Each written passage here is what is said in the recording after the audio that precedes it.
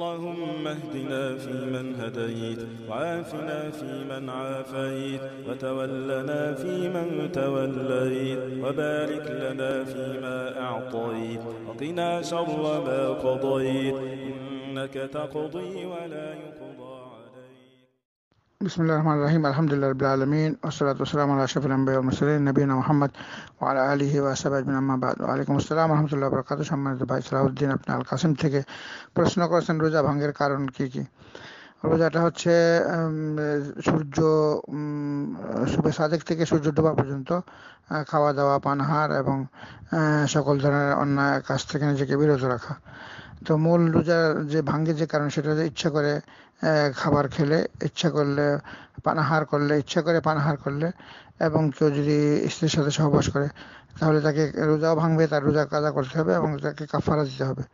তো মূল কারণ যেটা, সেটা হচ্ছে যে পানি খাওয়া দাওয়া পানাহার খাওয়া দাওয়া পানাহার এবং সহবাস থেকে নিজেকে বিরত রাখা। আর সাথে সাথে বিভিন্ন ধরনের, সকল ধরনের পাপ কাজ থেকেও নিজেকে বিরত রাখা।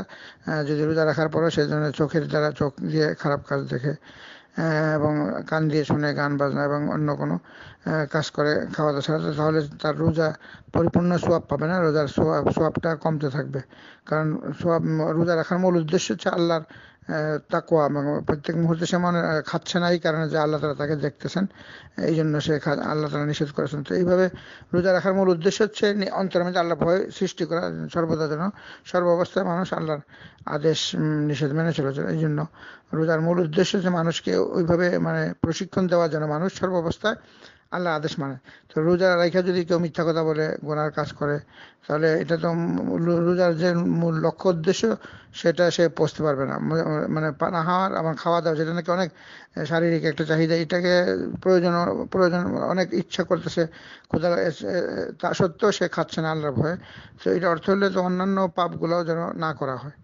মানে রোজা রাখার অর্থ হচ্ছে এক নম্বর খাওয়া দাওয়া পানাহার, সহবাস থেকে নিজেকে বিরত রাখা সকল ধরনের গুনার কর্মকাণ্ড থেকে নিজেকে বিরত রাখা এবং যেন রোজা, সবসময় যেন মানুষ সর্বাবস্থায় আল্লাহকে স্মরণ রাখে। এইটার হলো মূল লক্ষ্য উদ্দেশ্য। কাজেই মূল ভাঙ্গার যে, রোজা ভাঙ্গার কারণ হচ্ছে ইচ্ছা করে খাওয়া দাওয়া করলে পানাহার করলে, সহবাস করলে, এই তিনটা কারণ। কিন্তু যদি সে ইয়া সে যদি অন্যান্য পাপগুলা করে, তাহলে তার রোজার সোয়াব কম পাবে।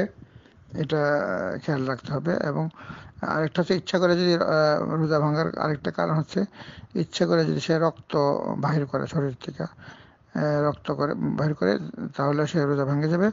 এবং ইচ্ছা করে যদি বমি করে ইচ্ছা, ইচ্ছাকৃতভাবে বমি করলে এবং রক্ত শরীর থেকে যদি বাহির করা হয়, ইচ্ছা করে তাহলে তার রোজা ভাঙে যাবে। এছাড়া তার রোজা ভাঙবে না। আল্লাহ তালা আমাদের সবাইকে সত্যিকারভাবে রোজা রাখার এবং রোজার পিছনে যে মূল উদ্দেশ্য রয়েছে যে প্রত্যেক মুহূর্তে আল্লাহকে স্মরণ রেখে সকল ধরনের অন্যায়, অশ্লীল পাপ কাজ থেকে নিজেকে বিরত রাখা রোজার মাধ্যমে প্রশিক্ষণ নেওয়া, সেটা যেন আল্লাহ তৌফিক দান করেন। ওসল্লাহ নবীনা মোহাম্মদ আলহি